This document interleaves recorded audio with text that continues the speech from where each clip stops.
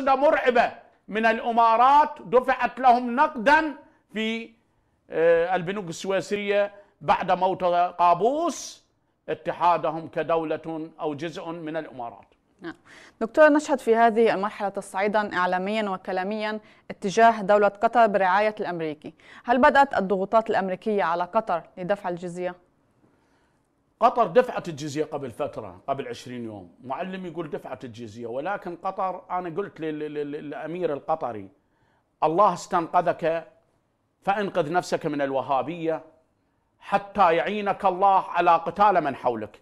أما إذا كنت وهابيا فيقينا إن محمد عبد الوهاب سيخذلك وهذا لا نقيم له وزنا بل علجا لا يستحق أن يهتدى به أحد. ونحن عراقيين وهو عراقي ونعرف من أين أتى. نعم شكرا لك.